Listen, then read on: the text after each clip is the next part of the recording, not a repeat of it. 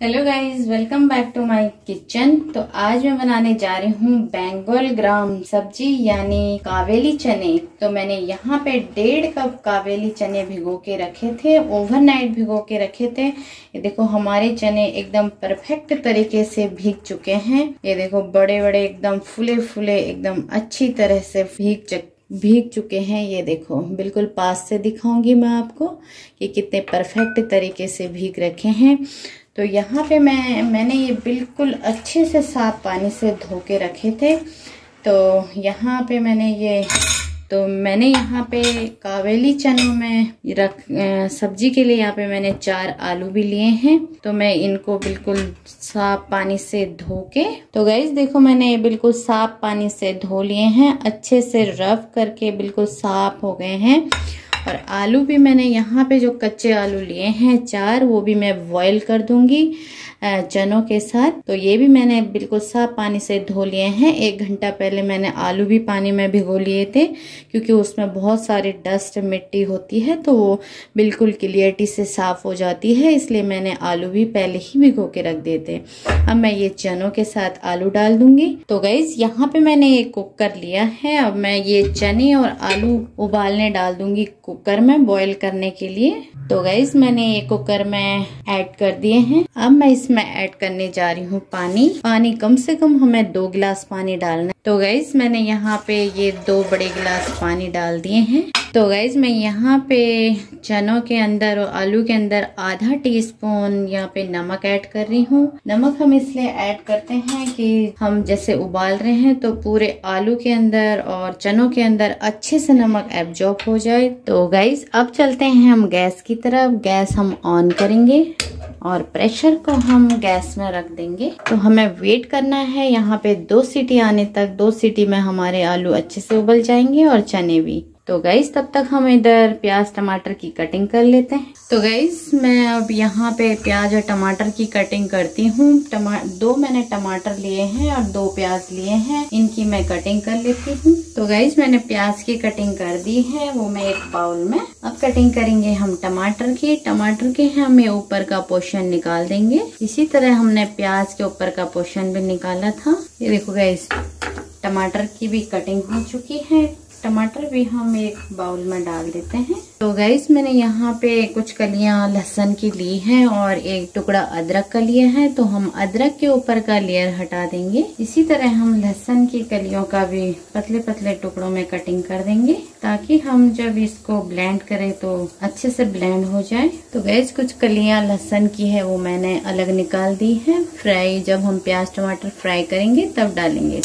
तो गई मैंने यहाँ पे ईमानदस्ता लिया है। मैं इसमें ये अदरक और लहसन की जो कलियाँ हमने काट के रखी थी, इसका मैं पेस्ट बना लेती हूँ। और यहाँ पे ये दो से तीन मैं हरी मिर्च डाल दिए हैं और इसे हम कोट लेते हैं। है, इसे हम एक बाउल में तो गई ये देखो पेस्ट भी हमारा तैयार। तो अब हम कटिंग कर लेते हैं कोरिएंडर की। यहाँ पे मैंने ग्रीन कोरिएंडर लिया है। अब इसकी हम कटिंग कर ले तो गई कोरिएंडर कट के भी रेडी हो चुका है। तो गई हम चेक कर लेते हैं कि हमारे चने उबले हैं कि नहीं। ये देखो, बिल्कुल आलू उबल चुके हैं। हमने चाकू की नोक को अंदर घुसा के देखा आलू के तो बिल्कुल उबल चुके हैं। तो हम इसे हटा देंगे। उबल गए बिल्कुल तो अब हम इसको थोड़ा सा कूल डाउन होने देंगे। उसके बाद इसके छिलके उतार देंगे। तो अब हम चेक करेंगे यहाँ पे ये जो मैंने चने तो गई मैं चने चेक करके दिखाती हूँ आपको। देखो, मैंने ये फिंगर की सहायता से इसे प्रेस करा था तो बिल्कुल अच्छे से उबल गए हैं चने। तो अब हम चलते हैं सब्ज़ी बनाने की प्रोसेस में। तो गई सब्ज़ी बनाने से पहले इधर मैं चने में जो पानी है उसे छान लेती हूँ। यहाँ पे मैंने ये भगोना लिया है और ये छन्नी लिया है। तो इसके ऊपर मैं ये जो मैंने चने लिए हैं, वो मैं छान लेती हूँ। चने अलग हटा लेते हैं और पानी अलग। तो गई जो हमारा ये चने का पानी है, ये हम यूज़ करेंगे सब्ज़ी बनाने में। इसे फेंकेंगे नहीं क्योंकि हमने चने का डस्ट अच्छी तरह से साफ़ करा था, अच्छी तरह से धो के रखा था, तब हमने उबालने डाले हैं। तो गैस हम चलते हैं गैस की तरफ़। तो यहाँ पे मैंने गैस ऑन करा। और पैन को गैस में रख दिया।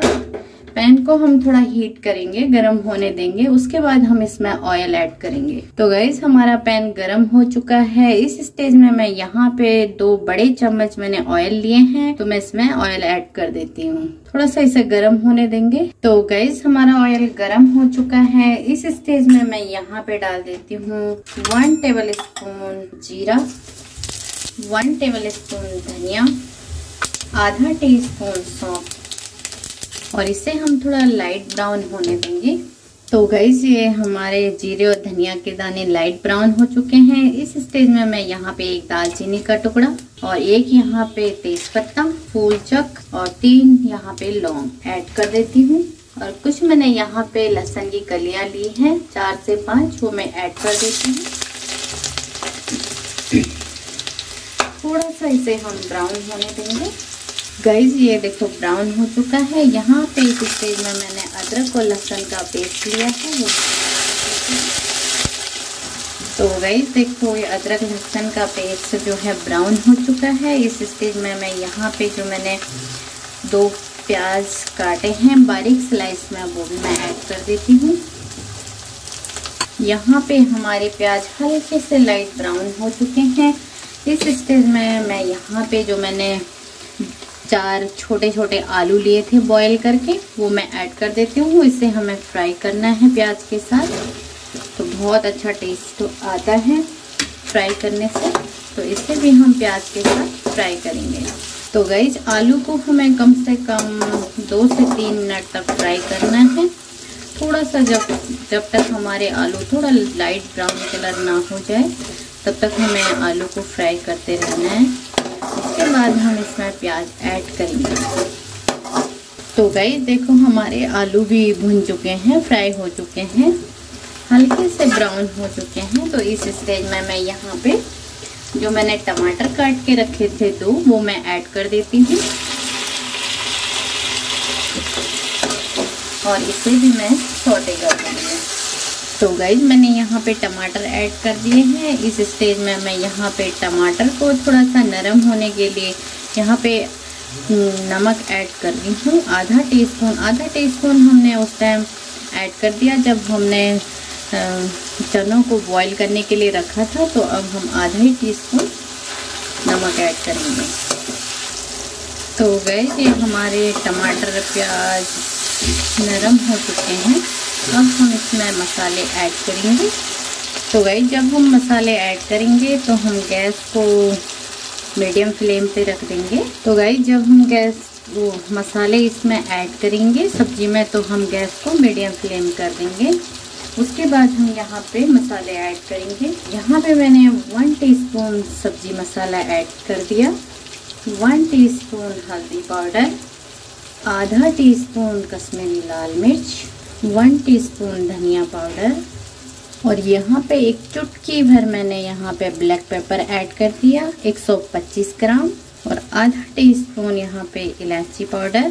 तो गैस मैं इसे सोटे कर लूँगी। हमने इसमें सारे इंग्रेडिएंट्स मिला लिए हैं। अब हम अच्छे से इनको मिला लेंगे। सारे इंग्रेडिएंट्स मैंने ऐड कर दिए हैं। तो हम इनको अच्छे से भून लेंगे, मिला लेंगे, अच्छे से सोटे कर देंगे।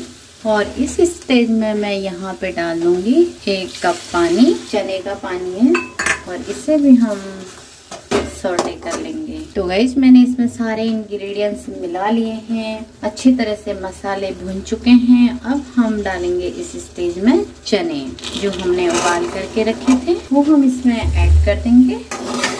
तो गईज मैंने यहाँ पे ये सारे इंग्रेडिएंट्स मिला लिए हैं। अब मैं थोड़ा मसाले पकने के लिए या चनों के के साथ पकने के लिए यहाँ पे एक कटोरी में पानी डाल देती हूँ, ये चने का पानी, और इसे भी हम सोटे कर देंगे तो गैस अब मैं इसमें ढक्कन लगा देती हूँ, और कम से कम हमें इसको पाँच से सात मिनट तक ही पकने देना है, उससे ज़्यादा नहीं। तो उसके बाद हम इसे चेक करेंगे। तो गैस मैं चेक कर लेती हूँ कि हमारी सब्ज़ी बन चुकी है कि नहीं।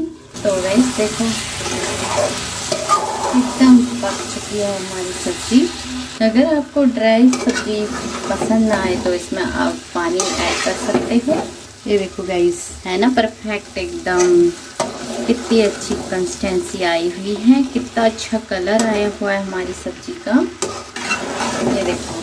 वाओ एकदम परफेक्ट डिलीशियस तो भाई ज़रूर इस मेथड से मेरे जो टिप्स है टिक्स है उसे ज़रूर फॉलो करना और ये चने की सब्ज़ी ज़रूर बनाना। तो गई जब हमारी सब्ज़ी बिल्कुल रेडी हो चुकी है। अब हम इस स्टेज में यहाँ पे जो मैंने एक कटोरी यहाँ पे कोरिएंडर काट के रखा था, वो मैं ऐड कर देती हूँ। ये देखो गाइस मैं बिल्कुल आपको पास से दिखाती हूँ कि हमारी सब्ज़ी कितनी डिलीशियस कितनी परफेक्ट बनी है, ये देखो। तो अब मैं इस स्टेज में गैस ऑफ़ कर देती हूँ और चलती हूँ सर्व करने के प्रोसेस में। तो गैस मैंने यहाँ पे सर्व करने के लिया है ये कांच का बाउल तो गैस मैंने सर्व कर दिया यहाँ पे एक कांच के बाउल में। तो इसके ऊपर मैं सर्व करने वाली हूँ। ये जो मैंने अदरक के टुकड़े काटे थे पतले पतले स्लाइस में, वो मैं इसके ऊपर सर्व कर देती हूँ। और यहाँ पे मैंने एक नींबू कटिंग करके रखी थी, वो भी मैं इसके ऊपर सर्व कर देती हूँ। अगर चने की सब्ज़ी में नींबू ना हो तो मज़ा ही नहीं है। तो इसीलिए मैंने यहाँ पे नींबू ऐड कर दिया। और यहाँ मैंने एक ग्रीन कोरिएंडर लिया है, इसे भी मैं सर्व कर देती हूँ। तो गैस देखो हमारा ये जो मैंने बेंगोल ग्राम यानी कावेली चने की सब्ज़ी बनाई थी, वो बिल्कुल रेडी है। तो कैसे लगी आपको मेरी ये रेसिपी तो मेरे वीडियो को लाइक शेयर करना। सब्सक्राइब कर कर देना और वहाँ पे बेल आइकन आएगा, उसे प्रेस ज़रूर कर देना। जो मेरी न्यू रेसिपी आएगी, आपके पास तुरंत नोटिफिकेशन पहुँच जाएगा। और मैं मिलूँगी आपको न्यू वीडियो में न्यू रेसिपी के साथ। तब तक के लिए गाइस आप अपना ध्यान ज़रूर रखना। बाय